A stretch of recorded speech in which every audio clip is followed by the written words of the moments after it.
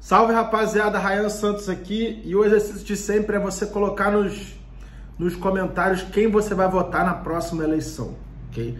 A gente está fazendo um, um levantamento entre nossos seguidores e colocando um robozinho de crawler para meio que digerir esses dados, ok?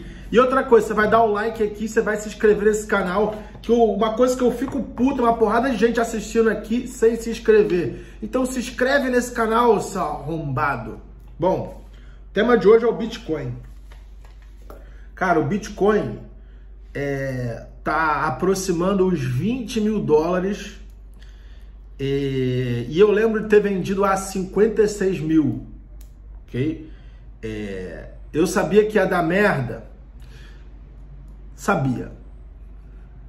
E olha a quantidade de vídeos que eu fiz alertando sobre Bitcoin ao longo dos últimos seis meses nesse canal.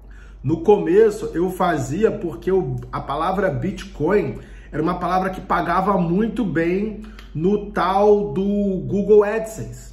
O CPM da palavra Bitcoin era muito alto. É, então eu fui fazer vídeos em cima disso, só que, cara, quanto mais eu ia estudando e entendendo que tipo de pessoa estava entrando naquilo ali, eu ia abrindo meu olho, abrindo meu olho, abrindo meu olho. Chegou um ponto que eu falei, mano, e eu tinha alguns milhões em Bitcoin, tá? Eu, eu nunca escondi isso. Até outubro, novembro de 2021, eu tinha Bitcoin desde lá de trás, 2016, 2017. É... Por quê? E subiu pra caralho, subiu pra caralho. Uh, porque eu comecei a, tipo, a me assustar. Ok? Eu cheguei à conclusão que o Bitcoin, ele é baseado no hype. Tudo que é baseado no hype você tem que assustar a próxima. Você tem uma, eu tenho uma caneta. Eu tenho que assustar a próxima pessoa que essa caneta Bic aqui vai ficar escassa. Vai ser um item de luxo ter essa caneta Bic. Então eu vou assustar essa próxima pessoa aqui, ó, e vou socar a caneta Bic para ela. Quando isso vai e ela vai virar tipo a primeira uh, vai virar uma embaixadora da caneta Bic e vai passar essa caneta para essa outra pessoa. É... Outro turning point foi quando eu vi o tal do Warren Buffett, que é o maior investidor aí vivo entre nós humanos, um cara que consegue 20% ao ano consistentemente desde 1960 e pouco. E para você, meu amigo e amiga, 20% ao ano, que dá um pouquinho mais de, um, de um pouquinho menos de 2% ao mês em dólar, cara, isso é um retorno absurdo. Parando por aí, ok? Se 2% ao mês em dólar é um retorno absurdo, cara, se esses malucos aí que te oferecem 5% ao mês, 10% ao mês, eles estariam no lugar do Warren Buffett. Então, se alguém te oferece 5, 10% ao mês, é golpe, agiotagem e coisas do tipo. É... Cara, não tem yield. E aí eu vou te dizer qual que é yield. Vamos dizer assim, ó. Vamos lá.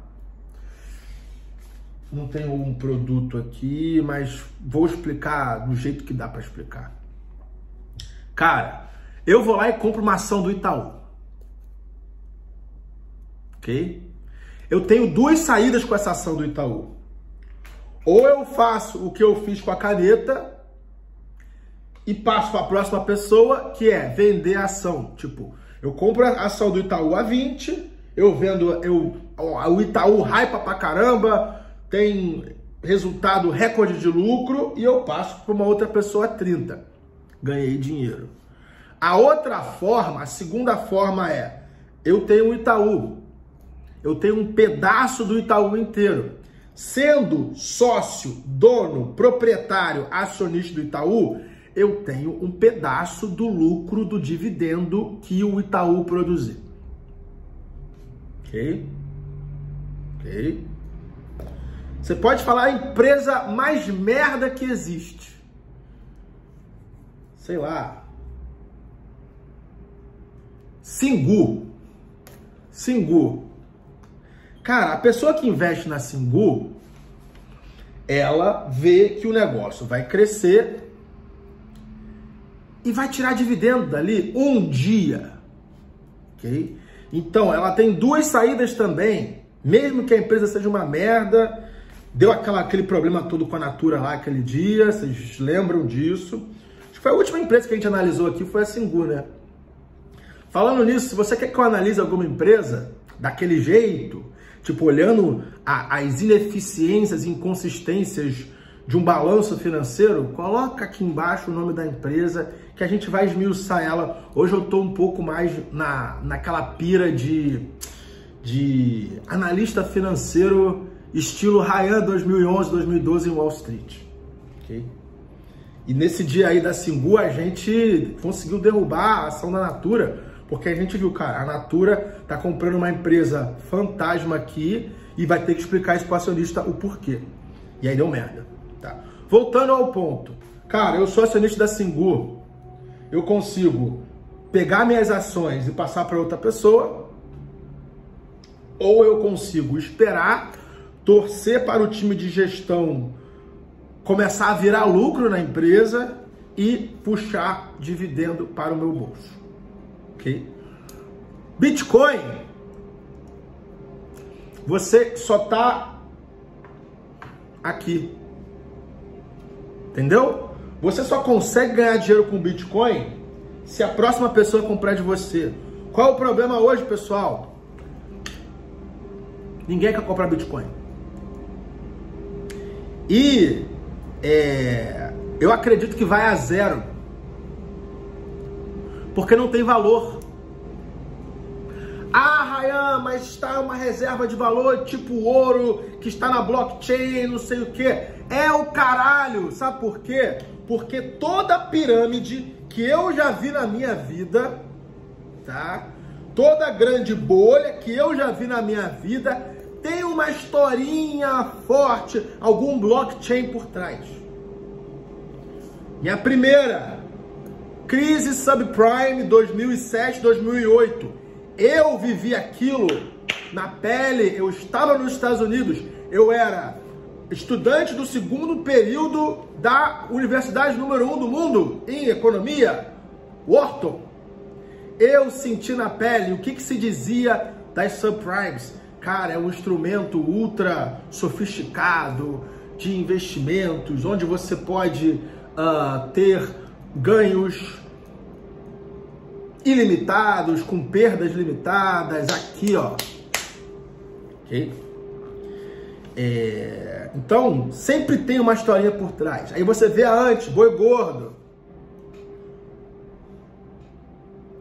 Ah, depois veio o Telex Free. Porra, Telex Free é uma tecnologia uh, que tem o VoIP, que vai acabar quebrando as telecomunicações. E a Vivo e a Oi vão se fuder porque a Telex Free é uma tecnologia foda. Cara, sempre teve essa história aí de blockchain. Segunda coisa. Segunda coisa é, cara, eu eu uso puta como um benchmark muito interessante. Te dar um exemplo. No filme da crise subprime, A Grande Aposta, um dos grandes cliques, um dos grandes cliques do, do, do cara que, que pescou a grande crise vindo foi que ele viu que as strippers, stripper nos Estados Unidos é puta, tá? Porque não existe prostituição legalizada lá, então as putas são strippers. Strippers estavam comprando casas com juro zero para flipar as casas. E aí o cara foi olhar e olhar aquelas casas, não sei o que, papa, opa, bolha, vral. Soube se antecipar. 1929, tem essa lenda aí que o pai do John Kennedy viu que o, o engraxate do prédio dele em Nova York estava falando de bolsa de valores. Vaza. Ok? Dois. É... Cara, Bitcoin. Mano, Bitcoin. Já te falei, eu tenho um familiar que nunca fez nada na vida, nunca deu certo na vida, foi de golpe para golpe E, mano, do nada ele virou um grande guru de Bitcoin e em criptomoedas. Estava estudando pra caraca. Cara, foi ali que eu, que eu, que eu olhei. Por, isso aí por outubro, novembro. Eu falei, ih, caralho, se esse cara virou especialista em Bitcoin, é subprime, é crise de 29 de novo. Cara, por que eu tô falando das putas? Sabe que as putas elas têm um emprego para dizer pro mundo que é o emprego delas. Corretora de imóvel, micropigmentadora de sobrancelha, uh, como é que é o nome do outro? Uh, modelo fotográfica, que hoje já influenciadora, uh, esteticista, tipo, são profissões de mulheres da vida. Cara, as putas nível Dubai eram todas cripto traders. Crypto enthusiast. Aí já abriu o olho. E, e, tem uma outra história com isso, é no livro do Jim Rogers, Adventure Capitalist, um dos melhores livros que eu vi na minha vida, tá? O Jim Rogers, ele dá, deu a volta ao mundo de carro, analisando país por país e dizendo, cara, eu invisto na Hungria por causa disso, disso, disso, a Turquia não por causa disso, disso, disso. E, cara, os prognósticos dele na viagem de 2000, 2001, cara, muita coisa se concretizou 20 anos depois. É muito interessante esse livro. E ele tem uma teoria das prostitutas na China. Para ele, a qualidade estética das prostitutas de um país diz se o país está em crise ou não. Ele falou que na primeira viagem dele para a China em 1990, cara, as putas eram lindas. Opa, a China estava embaixo. Em 2001, cara, eram mulheres meio surradas. Por quê? Porque as mulheres lindas, elas conseguem uh, alguma outra saída maior para ganhar dinheiro no setor de serviços, hotéis, não sei o que e tal e tal e coisa. E ele falou: olha só, cara, se você for para um país e as putas são muito bonitas, cara, tem alguma coisa errada com a estrutura social daquele país. Então, cara, é sempre interessante você analisar uh, as mulheres da vida. E, cara, como as mulheres da vida viraram investidoras cripto 2000, 2020, 2021, a gente fica de olhos bem abertos, ok? Cara, o que, que aconteceu, pessoal? É, e tem um, um, terceiro, um terceiro aspecto que é o seguinte, cara, se você olhar as pessoas que vendiam pirâmide de Rinodê e Juness em 2018 são as mesmas que venderam uh, as pirâmides de FX, FX Trading e Unique Forex em 2019, que são as mesmas que entraram no tal do Binary Beat, opções binárias é, e pirâmides de cripto em 2020, que são as mesmas que falaram sobre tal de jogos de NFT em 2021. É só você analisar essa tendência aí, você vê, opa, tem alguma coisa errada aí. Beleza? Bom, pessoal, eu quero saber o que vocês acham disso tudo. Bitcoin descendo de 60 mil para 20 mil dólares.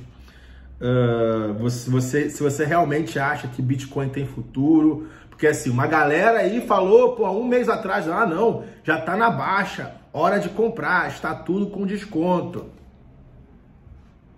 Olhos bem abertos, pessoal. Lembrando que vocês sabem que eu sou muito bem conectado, que eu tenho líderes de estado na minha rede gente bilionária e que eu estudei na Ivy League. É, nenhum amigo meu rico, nenhum conhecido meu rico investe em Bitcoin, em cripto. Nenhum. Só que esse meu amigo que deu errado na vida fez. Uh, outro amigo lá que foi demitido de um banco na Suíça também entrou nessa. Uh, as putas entraram, então você já vê que, tipo, tem alguma coisa estranha ali no meio. Coloca nos comentários. É... Ah, e outra, antes de terminar, cara, o argumento dessa galera aí de pirâmide, marketing multinível, de Bitcoin é sempre o mesmo. Cara, você precisa estudar mais, cara. Você, você não sabe de nada. Tem um negócio muito forte que você tem que estudar mais, cara. É, como é que você tá falando essa tanto de bobeira? Pra cima de mim, cara, eu preciso estudar mais. Uma criptomoeda que serve para que uma criptomoeda, pessoal? De novo, eu tinha, de novo, eu tinha Bitcoin, pessoal. Tinha, e eu nunca, nunca escondi. Só que em, lá para outubro, novembro, eu descobri, caraca, isso aqui tá estranho, eu preciso sair. E deu no que deu. Tamo junto, rapaziada. Comenta aqui embaixo.